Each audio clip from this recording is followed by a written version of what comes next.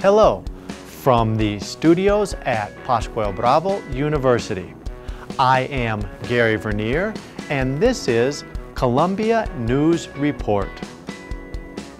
The UN Office on Drugs and Crime says cocaine production rose about 31% last year to some 1,400 tons, cultivated on 171,000 hectares.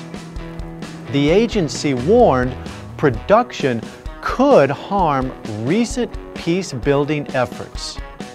Colombia is the world's largest producer of cocaine, much of which ends up in the U.S., which is the world's largest consumer.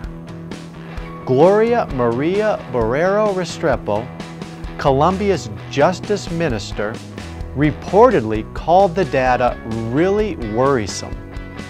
According to the UNODC report, the cocaine production acreage in Colombia last year was the highest ever recorded level, increasing by 25,000 hectares from 2016.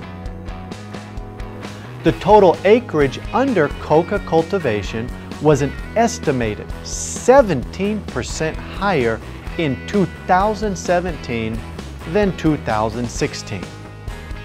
The report said the potential production of cocaine had a value of $2.7 billion.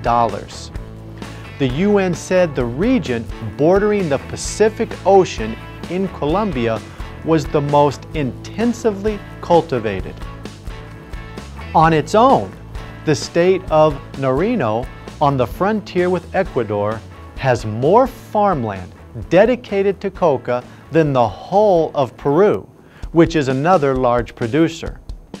The country has fought for years against cocaine production, with the U.S. providing around $400 million annually to assist in Colombia's war on drugs.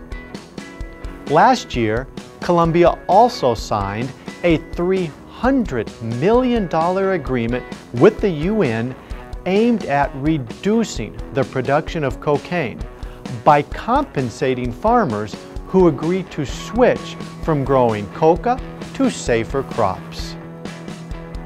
This has been a Colombia News Report. Good day.